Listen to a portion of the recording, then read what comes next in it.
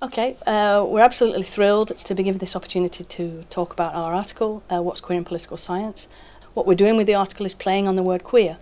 Um, what we're doing is trying to provide evidence uh, and arguments about how strange it is that political science doesn't write in queer theory into its analysis.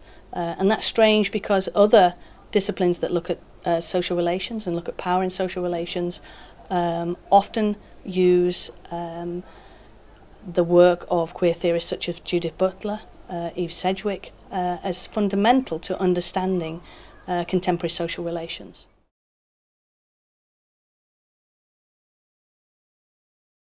Well, first of all, I'd like to talk about why we called the why we titled the article um, "What's Queer About Political Science." It's a playful piece that works on the basis that we think it's rather strange, and that's what we mean by queer, we think it's rather strange that political science is writing out probably the most cited body of work in that analyses social relations, uh, and that's queer theory, and particularly the work of Judith Butler. Um, Judith Butler is, is very highly cited isn't she, Nikki? She is. We were very surprised and rather happy to find quite high, how highly cited. Um, we actually found that her book, Gender Trouble, was more cited than the Communist Manifesto, and indeed the term butler appeared more times than the term Marx as a standalone search term.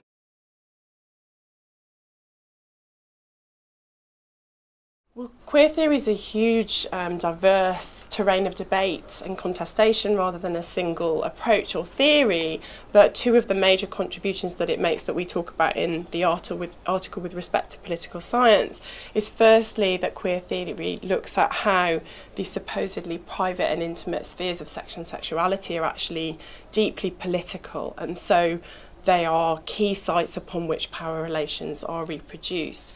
And so questions surrounding sex and, sex, sex and sexuality can't simply be bracketed off from the study of politics because, in fact, they're deeply implicated in uh, matters of economic, social, and political justice. So it's therefore rather strange that political science as a discipline isn't engaging with this um, central um, endeavour of locating sex sexuality in the body within the study of the political.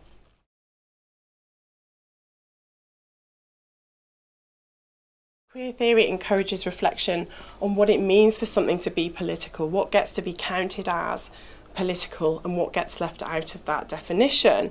And what gets to be included in our definition of the political is in itself a product of the exercise of power and is in itself reproductive of unequal power relations. If we, if people understand that what we're trying to say is that queer theory, an enormous body of work um, that is cited everywhere else in, in, in disciplines around sociology, disciplines around cultural studies, psychology, history, um, English literature, literature studies generally. Um, if it's being cited elsewhere, uh, this body of work, why isn't it being cited in political science? And that's what we're interested in. Um, I think we're also interested in the consequences of that, the intellectual consequences that Nikki just talked about, but also the professional consequences. Uh, and I, as a dean, have seen the professional consequences uh, for academics who are not able to demonstrate high citation metrics. Um, I think the profession is now obsessed with the standard measures of citation. Uh, our article looks into some detail about citation practices.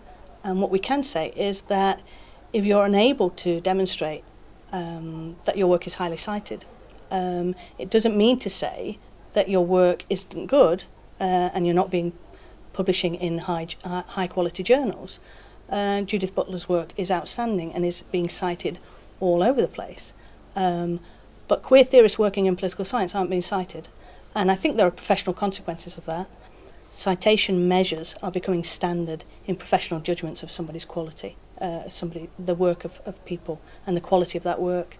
Uh, and so what we do in the article is, is encourage people to engage more with queer theory because it has intellectual advances, advantages. It gives us um, a fuller and more inclusive account of power in social relations, but also to include the work of queer theorists uh, and to cite queer theorists because that creates more professional justice. And just to say as well, it's not that queer scholars in political science aren't being cited per se, it's that they're not specifically being cited in political science journals necessarily. Mm. So they are, their, their work is very influential and well known in other fields, and it's uh, a shame for the discipline that that work isn't necessarily always being recognised in the way that it should within the discipline in which these scholars are situated. Yeah, so we're, we're absolutely thrilled to be able to um, do this exercise uh, and introduce the article to the profession. Uh, we'd ask people to obviously read it, uh, to put it on their reading list, and moreover to cite it.